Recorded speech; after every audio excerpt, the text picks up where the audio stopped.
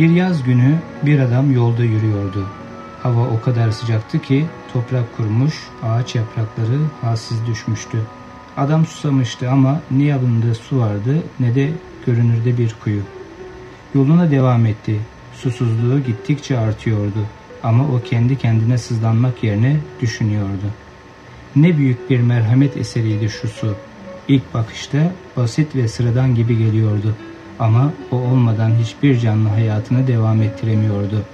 Rahmet ve merhamet sahibi yaratıcı bütün canlıların en büyük ihtiyacı olan suyu onlara gecikmeden anında gönderiyordu. O yüzden rahattı adam. O rahmet sahibinin kendisini ve susamışlığını gördüğünden çok geçmeden bu ihtiyacına karşılık rahmetini imdadına göndereceğinden emindi. Öyle de oldu. Bir süre sonra adam bir kuyuya rastladı. İçine inip susuzluğunu giderdi. Suyun yaratıcısına ve onun merhametine şükretti. Kuyudan çıktığında kuyunun yanında bir köpek gördü. Köpek öylesine susamıştı ki kesik kesik soluyor ve dilini birazcık nem hissedebilmek için toprağa sürüp duruyordu. Adam kendi kendisine düşündü. Bu köpek de benim gibi susamış.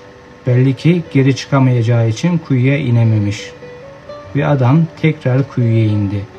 Suyu taşıyacak kabı yoktu yanında. O yüzden ayakkabısını çıkardı ve suyla doldurdu. Sonra da kuyuyu tırmanabilmek için ayakkabıyı ağzıyla tuttu ve çıktı. Hayvancağız ikram ettiği suyu iştahla içerken onu merhamet dolu bir kalple seyretti. O sırada onu seyreden başkaları da vardı. Rahman'ın melekleri bu manzarayı tebessüm ve mutlulukla seyrediyorlardı. Ve melekler sevinçle birbirlerine şu haberi verdiler.